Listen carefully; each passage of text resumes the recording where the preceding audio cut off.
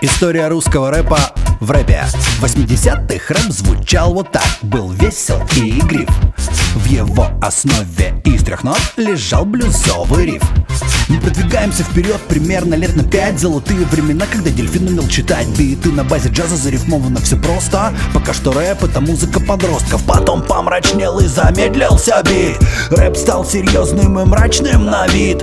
В то время много на глаголы рифмовали. Не унывали, если в бит не попадали. На улицах везде широкие штаны. Рэп на MTV, рэп в наушниках у всей страны. В рэпе появились бабки, стало очень весело. Шеф и Лига записали первый альбом Децела